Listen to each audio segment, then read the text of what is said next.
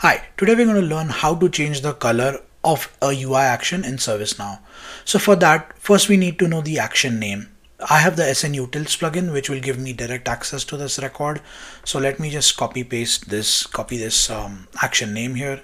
After that, let's navigate to something called as UI macros.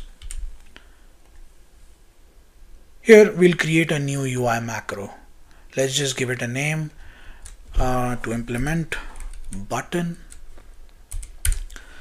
And then I'm going to copy paste some code in here which es essentially means that I'm asking this specific element this specific UI action to have a background of green and then um, the color of the text should be white. And the same I'm doing for the bottom button as well. So the bottom button is is this one. Um, so let me go ahead and save this. After this, what we need to do is actually create a formatter for this. Let me, I'll need the name. So I'll go ahead and get a formatter,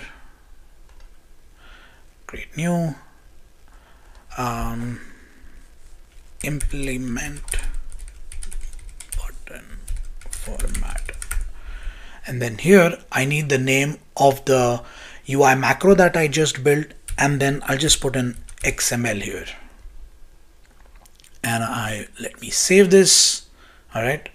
This looks good. Now if I go back to the change request um, I need to go into the form design. After going into the form design I'll be able to see the formatter that we just created refresh this here. Oh, I didn't actually.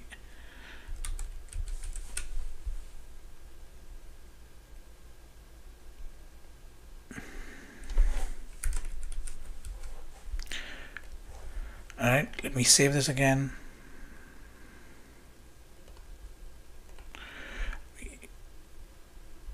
And I'll be able to see the implement. I can just put this formatter anywhere here and then hit save. It doesn't matter where you place this formatter you can place this anywhere in the form. Now if I go back and refresh the page here you go. We have a green implement button.